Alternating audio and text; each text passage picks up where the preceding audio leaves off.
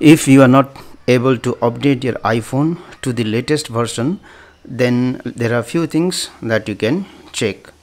The first thing is you have to make sure that your iphone meets the requirement that is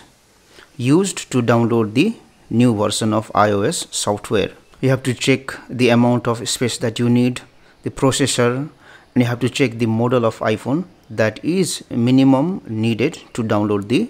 new iOS version. The second thing that you have to check is you have to see how much of space is left in your iPhone. Go to settings, then you have to go to general, iPhone storage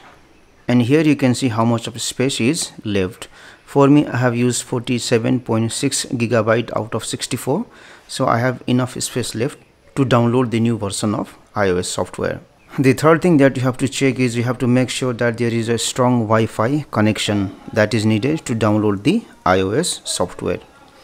You can restart your router you can restart your phone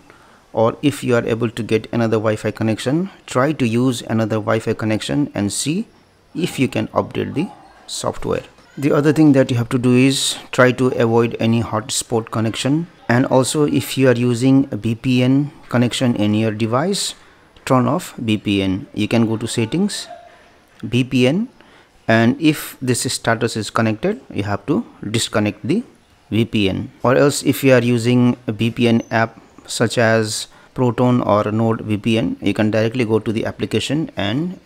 disconnect the VPN lastly what you have to do is you have to make sure that there is enough charge left in your iPhone. If you have enabled